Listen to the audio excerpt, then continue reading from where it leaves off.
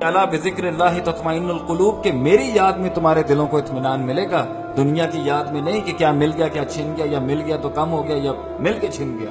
اور ملا ہی نہیں۔ نہیں، میری یاد تمہیں سکون اور اطمینان دے گی تو یہی فطرت ہے۔ ہم صبر میں یقین رکھتے ہیں کہ اس دنیا میں ہمیں نہیں ملا تو اس دنیا میں مل جائے گا۔ اور آپ اسی دنیا کو اصل کہتے ہیں، یہ دو انسانوں کو آپ کیسے ایک کریں گے؟ جبکہ دو جانوروں میں تو یہ اختلاف نہیں ہے۔ دو چڑیوں میں تو یہ اختلاف نہیں ہے، دو پہاڑوں میں یہ اختلاف نہیں ہے، تو آپ میں اور ہم میں کیوں یہ اختلاف ہے؟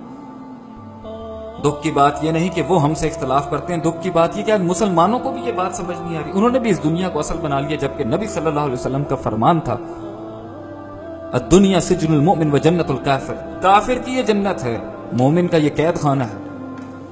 کیونکہ مومن کی زندگی میں قیود لگی ہوئی ہے پریزن ہاؤس۔ وہ بہت سی چیزیں نہیں کر سکتا اللہ کے حکم کے مطابق۔ کیونکہ اسے آخرت میں ملیں گی وہ سب چیزیں۔ لیکن جب انسان اللہ تعالیٰ کے کلام میں اپنی آئیڈیالوجی اور اپنے عقیدے کے اندر بلیف نہیں رکھتا تو دوسروں کو فالو نہیں کرے گا تو کیا کرے گا؟ اور بے وقوف معاشرہ جو ہمارا ہے، ہمارے بڑوں سے بھی ہمیں یہی بات سکھا دی گئی کہ اٹھو اور دنیا میں نام کماؤ، پیسہ کماؤ، حیثیت بناؤ۔ اس کے بغیر کچھ نہیں ہے۔ اس آیت کا کوئی مطلب نہیں۔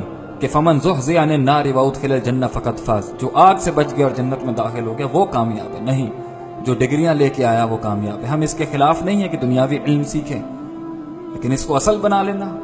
سولہ سولہ سال بچوں کو اسی تعلیم کے اندر رکھنا کہ وہ پچیس ہزار کی نوکریاں کریں۔ اور دین سے غافل، بسم اللہ الرحمن الرحیم کا ترجمہ بھی نہیں آتا۔ اور اس سے تھوڑا اوپر کا علم کہ اس کی نحوی صرفی ترکیب کیا ہے۔ گرامر اور عربی گرامر کے اس میں رولز کون سے ہیں؟ کچھ نہیں پتا۔ با کا کیا مطلب اسم کا کیا مطلب لفظ اللہ کا کیا مطلب اور رحمان کا مطلب کیا؟ الف لام کے ساتھ الرحمن کیوں آیا؟ رحیم کیوں آیا؟